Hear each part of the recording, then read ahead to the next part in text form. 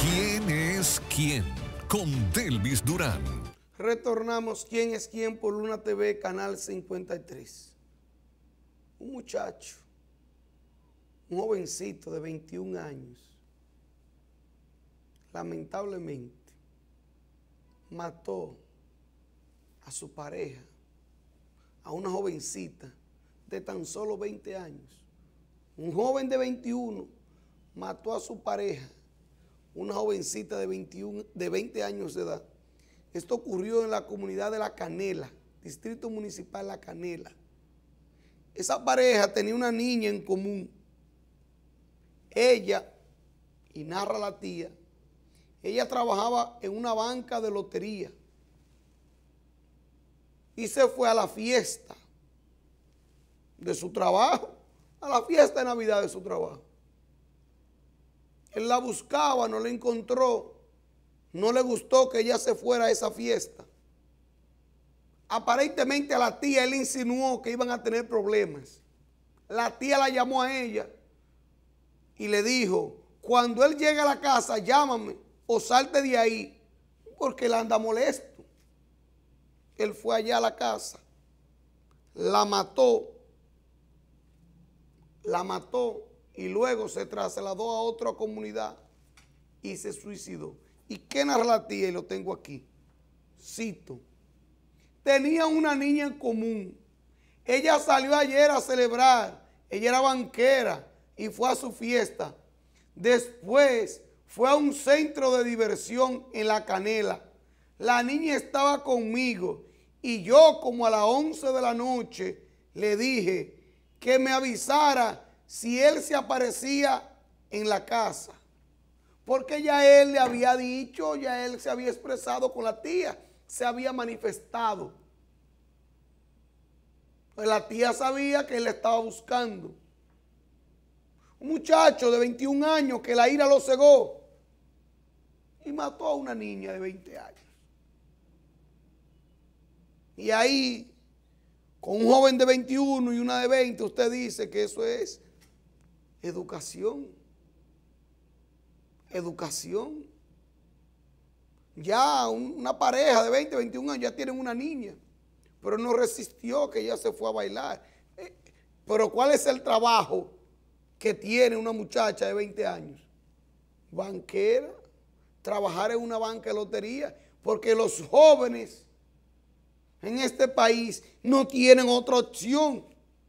Una muchacha de 20 años con una niña no tiene otra opción que ir a trabajar a una banca de lotería. Y lo que tiene de pareja es a un muchacho de 21 años que no pensó con el cerebro, pensó con los genitales la mató a ella y se mató él. ¿Y cuál es el culpable? ¿Cómo analizamos el caso? Yo estoy especulando. ¿Cómo analizamos el caso? Pues él se mató. ¿Qué vamos a estudiar? Ella no puede decir las razones. Pero así siguen los feminicidios en este país. Y los contamos todos los meses y se incrementan cada año.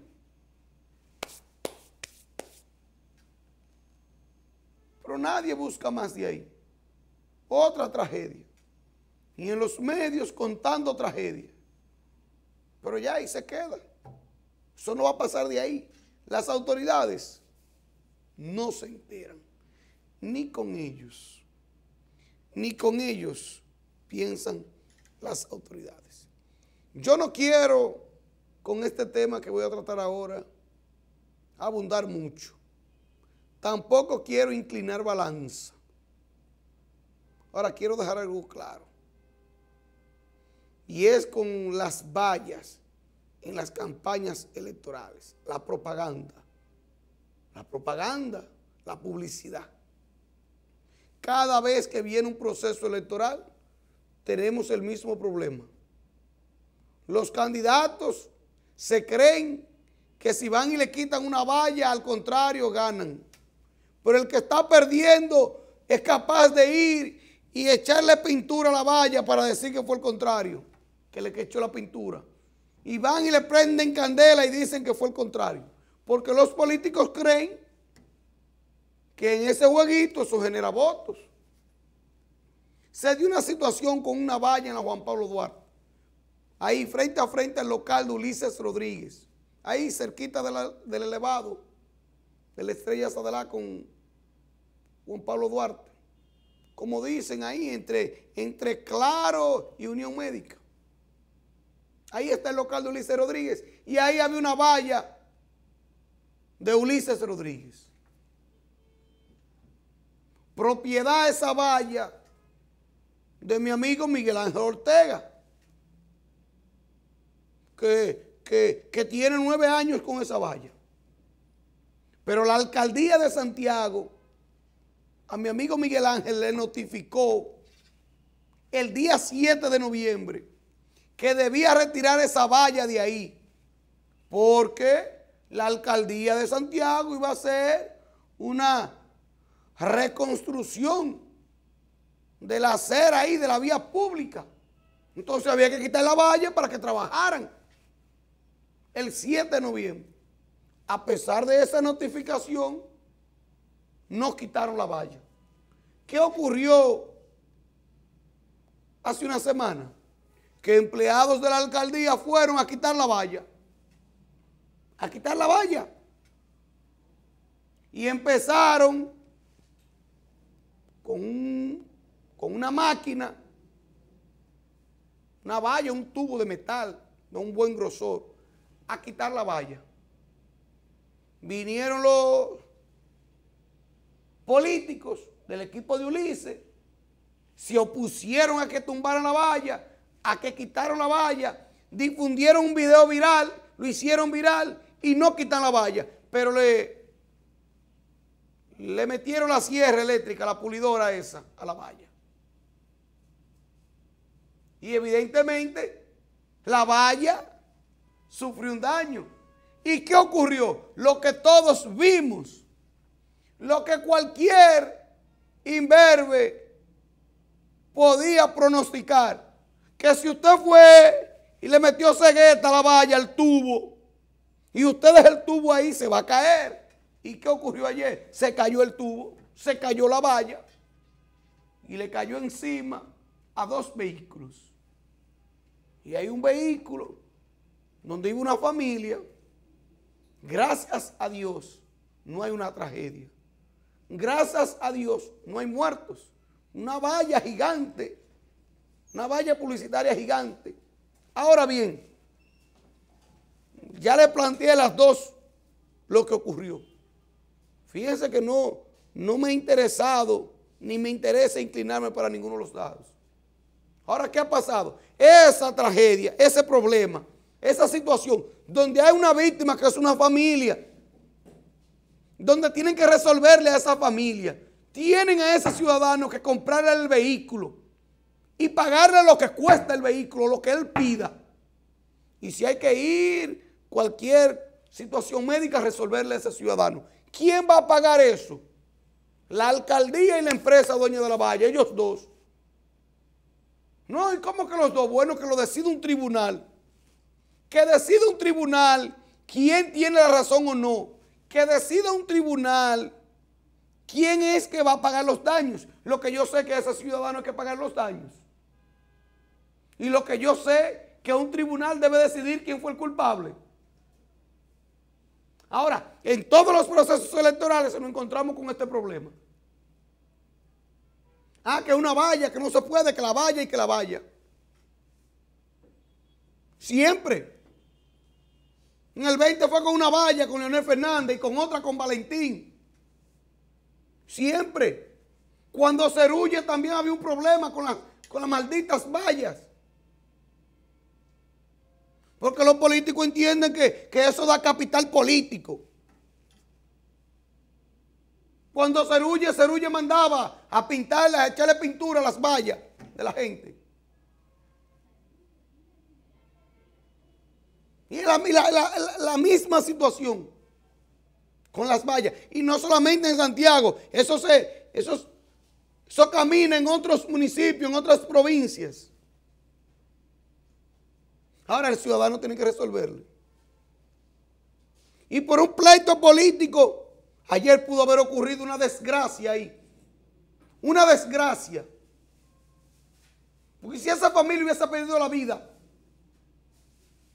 si hubiese perdido la vida esa familia por un, por un pleito eh, entre la alcaldía de Santiago y entre lo, lo del PRM, Ulises Rodríguez, entre la alcaldía de Santiago y el dueño de la valla, por un pleito político. Y si esa familia hubiese perdido la vida ayer, ah, si la alcaldía fue a quitar la valla y ellos se opusieron y los empleados de la alcaldía no se atrevieron a quitarla. Una irresponsabilidad, porque si ya usted le metió cegueta, tumbe esa vaina. Y si ya usted le dio cegueta, el otro día usted debió ir a soldar eso.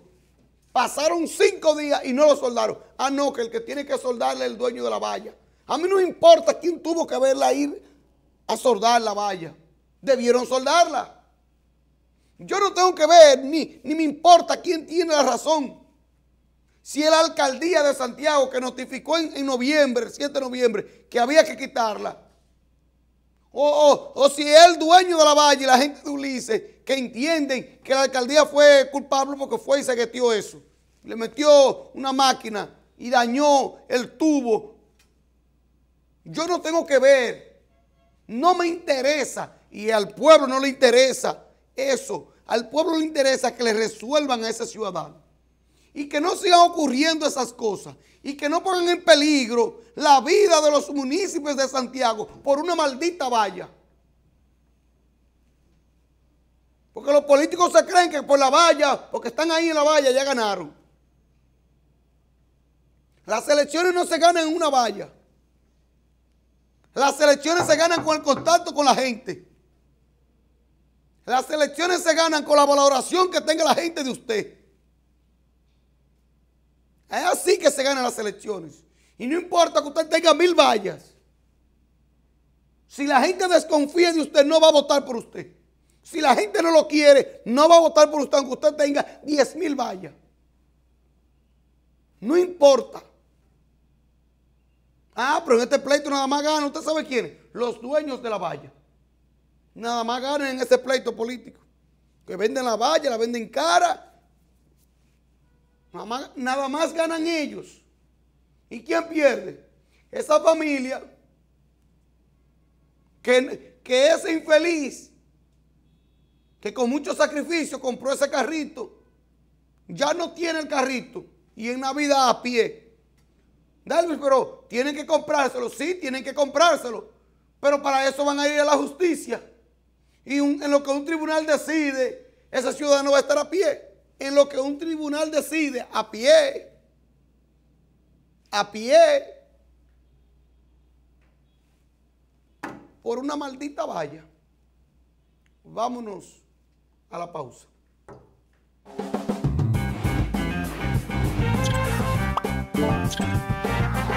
¿Quién es quién? Con Delvis Durán.